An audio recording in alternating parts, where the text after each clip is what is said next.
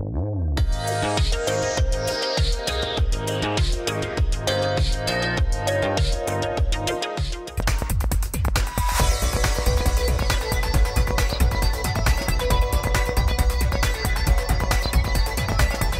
Amigos, ¿qué tal? Soy Emilio Moyer y gracias por acompañarnos una vez más en Primera Plana Televisión y como podrán ver, estoy haciendo un experimento, estoy haciendo una, una propuesta para que mi señor padre, don Emilio Moyer, me acompañe en las cápsulas porque le da más agilidad, le da más movimiento. No experimento, ¿eh, compañero? te estoy fregando, es un, es un chascarrillo.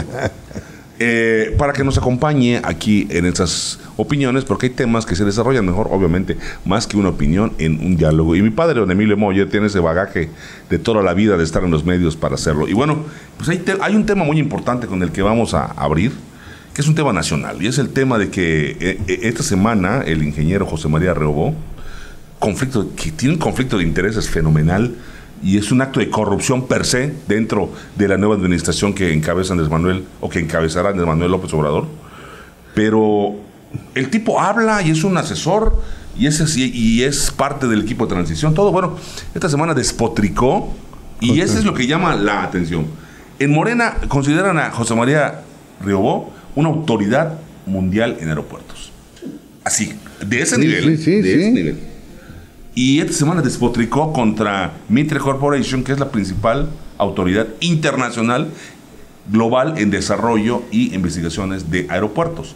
Dijo que están haciendo que, están dando patadas de ahogado porque no van a hacer el nuevo estudio del aeropuerto. El aeropuerto es engendro que se llama Santa Lucía y que además este pues pues están así, ni, ni siquiera son tan buenos. ¿Cómo lo ves?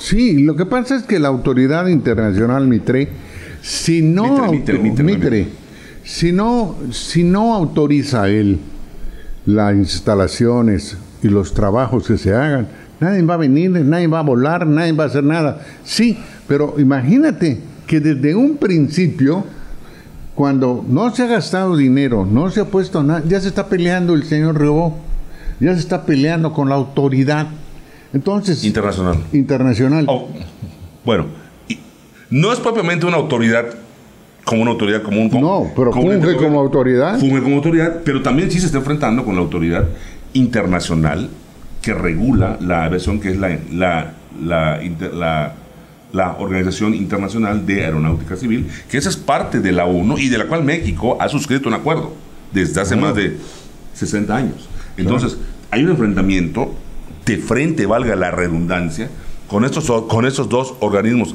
claves para la, para la navegación aérea internacional. Ahora, mencionaste algo hace un momento.